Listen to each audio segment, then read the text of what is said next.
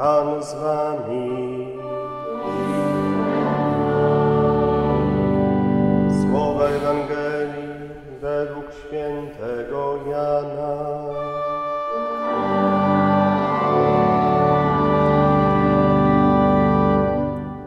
Pierwszego dnia po szabacie, wczesnym rankiem, gdy jeszcze było ciemno, Maria Magdalena udała się do grobu i zobaczyła kamień od niego odsunięty. Maria stała przed grobem płacząc, a kiedy tak płakała, nachyliła się do grobu i ujrzała dwóch aniołów w bieli, siedzących tam, gdzie leżało ciało Jezusa, jednego w miejscu głowy, a drugiego w miejscu nóg. I rzekli do niej, niewiasto, czemu płaczesz? Odpowiedziała im, zabrano Pana mego i nie wiem, gdzie go położono. Gdy to powiedziała, odwróciła się i ujrzała stojącego Jezusa, ale nie wiedziała, że to Jezus. Rzekł do niej Jezus, niewiasto, czemu płaczesz? Kogo szukasz? Ona zaś, sądząc, że to jest ogrodnik, powiedziała do niego, Panie, jeśli Ty go przeniosłeś, powiedz mi, gdzie go położyłeś, a ja go wezmę. Jezus rzekł do niej, Mario. A ona obróciwszy się, powiedziała do niego po hebrajsku, Rabbuni, to znaczy nauczycielu. Rzekł do niej Jezus, nie zatrzymuj mnie, jeszcze bowiem nie wstąpiłem do Ojca. Natomiast udaj się do moich braci i powiedz im, wstępuję do Ojca mego i Ojca waszego oraz do Boga mego i Boga waszego. Poszła Maria Magdalena, oznajmiając uczniom, widziałam Pana i to mi powiedział. Oto słowo Pańskie.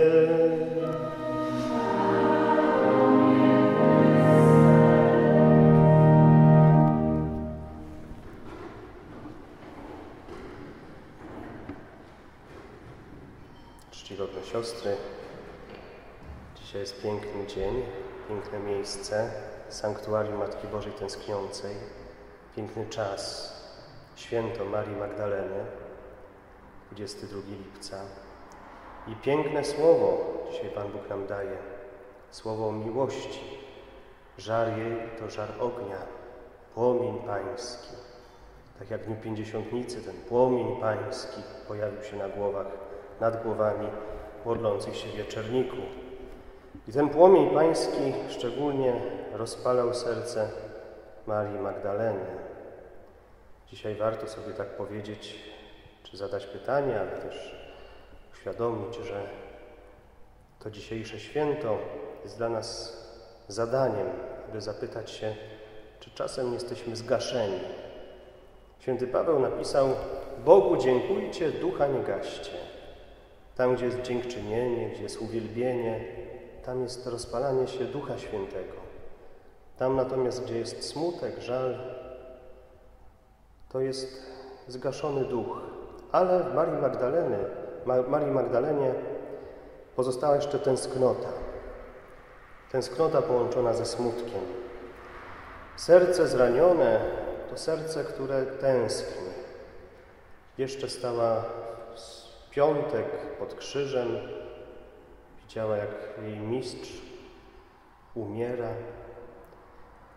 i zaraz po szabacie chciała usłużyć mu jeszcze, tak jak przez te wszystkie dni, kiedy Pan Jezus ją uwolnił od siedem złych duchów, później służyła całym swoim życiem, posługiwała ze swojego mienia. Prawdopodobnie była dość zamożna i bogata.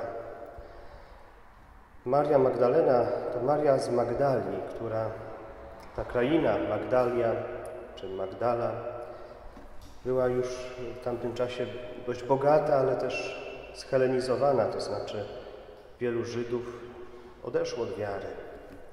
Wielu Żydów weszło w jakiś rodzaj okultyzmu, oddawanie czci bożkom. Był taki bożek Baal, który często domagał się różnych ofiar. Nawet była prostytucja sakralna.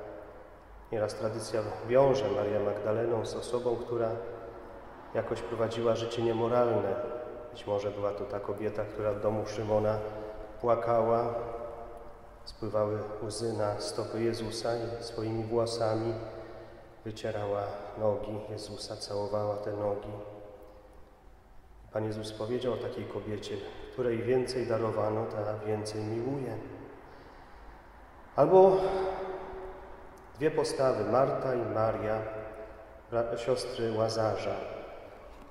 Niektóre apokryfy wiążą właśnie siostrę Łazarza, Marię, z Marią Magdaleną, która kupiła bardzo drogi flakon olejku zapachowego z nardu i jak to już Judasz przeliczył, to prawie rok pracy na to trzeba było przeznaczyć, a ona stłukła, rozlała ten olej, piękny zapach pojawił się w całym domu.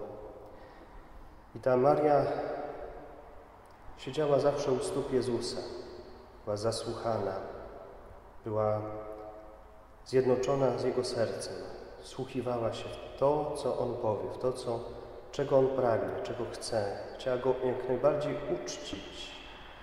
I może jest też taką dla nas nauczycielką oddawania czci Bogu.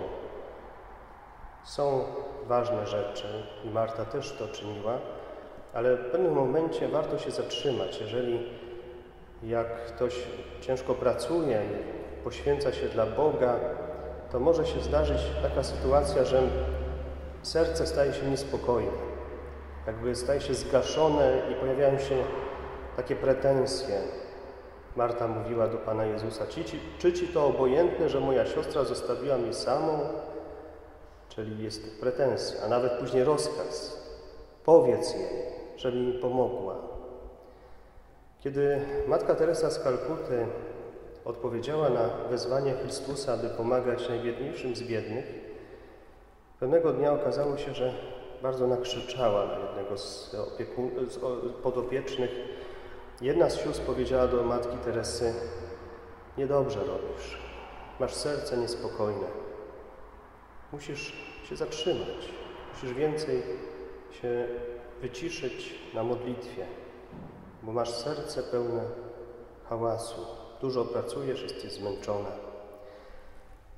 I postanowiła Matka Teresa, że po każdej mszy świętej nie będzie iść do pracy, tylko jeszcze dwie godziny adorować Pana Jezusa, tak jak ta Maria, usiąść u stóp Jezusa i zasłuchać się. Jezus mówi do serca, serca człowieka. W tym sanktuarium Matki Bożej tęskniącej szczególnie uczymy się od Maryi takiej postawy zasłuchania, Maryja też tęskni za takim sposobem słuchania Jezusa. Kiedy przyszła do dzieci w Fatimie, przyszła właśnie dlatego, że wiele osób idzie do piekła i w ogóle nie tęskni za niebem.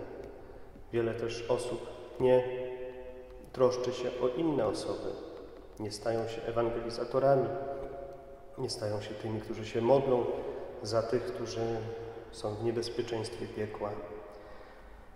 Matka Boża jest takim darem dla nas, dla nas wszystkich, nauczycielką, która uczy takiego zasłuchania, takiego wsłuchiwania się w Słowo Boże, ale też rozważania i chowania w sercu, żeby nie utracić tego Słowa.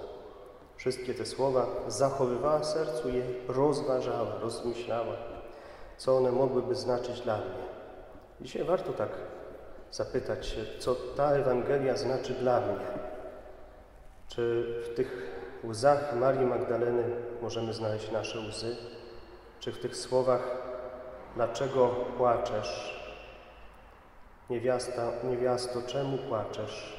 Dwa razy się to powtarza, jest podkreślone. Najpierw aniołowie, potem Pan Jezus. Warto też sobie pomyśleć, czy właśnie to miejsce płaczu nie jest e, miejscem uprzywilejowanym. Kiedy weźmiemy Stary Testament, jest taka scena w świątyni, kiedy Anna, późniejsza matka Samsona, przyszła do świątyni i zaczęła płakać i ruszała ustami, ale nic nie było słychać, to kapłan Heli ją bardzo źle potraktował. Powiedział do niej, kiedy wytrzeźwiejesz, pijana kobieto? Ona odpowiedziała, nie jestem pijana. Jestem nieszczęśliwą kobietą, która wylewa swoją duszę przed Bogiem.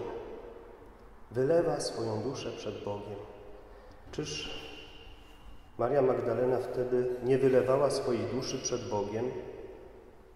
Odpowiedzią na taką modlitwę w świątyni było to, że Anna została matką wielkiego Samsona, a Maria Magdalena spotkała Jezusa żywego, zmartwychwstałego.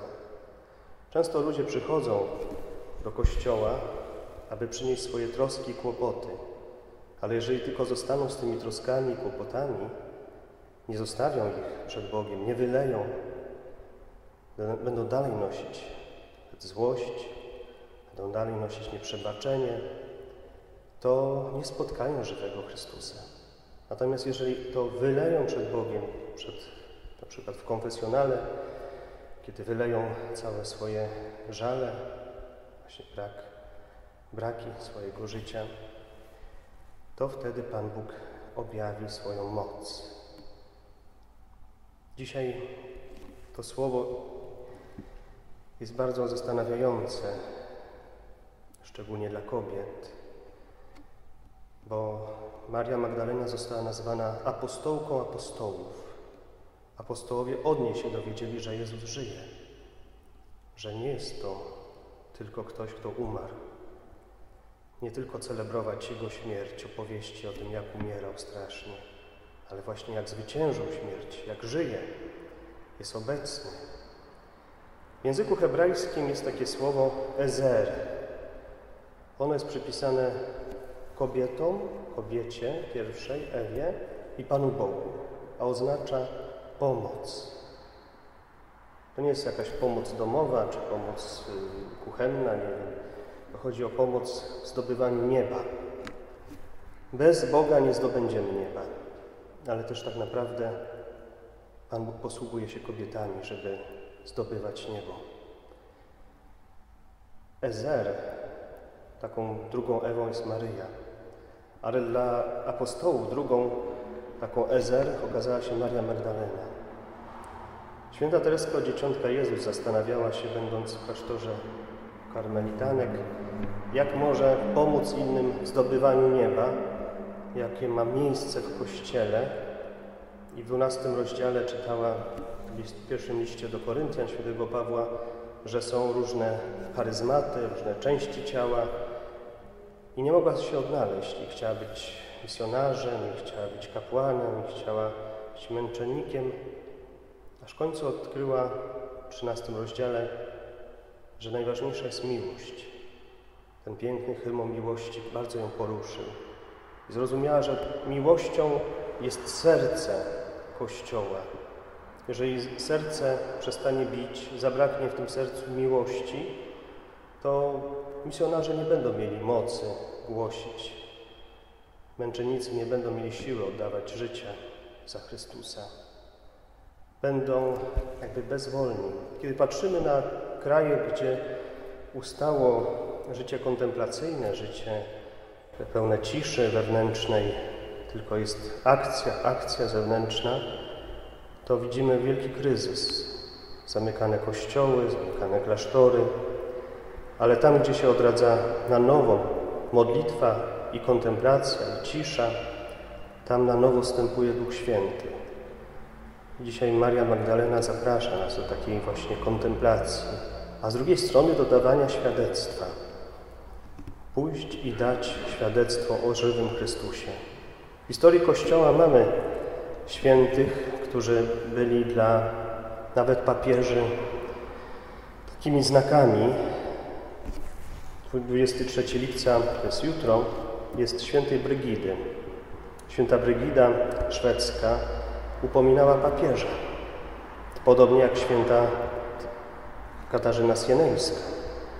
Pod ich wpływem papież powrócił do Rzymu, wrócił z Awinionu, Czasem są sytuacje takie, które wymagają i modlitwy, pokuty, ale też i słowa, które będzie słowem miłosierdzia, czyli pierwszy uczynek miłosierdzia względem duszy jest grzeszących upominać. Nawet gdy jest to jakaś osoba duchowna, a nawet jeżeli chodzi o najwyższe stanowiska w Kościele, również mamy obowiązek, jeżeli to widzimy, z miłością, nie z jakąś formą agresji, tylko z pewną troską zwrócić uwagę. I dzisiaj święta Maria Magdalena też daje nam taki przykład odwagi. Apostołowie pouciekali, tylko został Jan pod krzyżem, a ona trwała. Ona pierwsza przyszła do grobu, wcześniej niż wszyscy inni. Nie bała się. Miała w tym, w tym sercu tyle miłości, że nie myślała o sobie. Nie myślała o tym, co ją czeka, myślała o Chrystusie. Niech święta Maria Magdalena prowadzi nas, abyśmy mieli tyle w sobie miłości, która zrodzi i ducha męstwa, odwagi, i ducha ciszy wewnętrznej, aby lepiej słyszeć Boga i wypełnić Jego wolę w całym swoim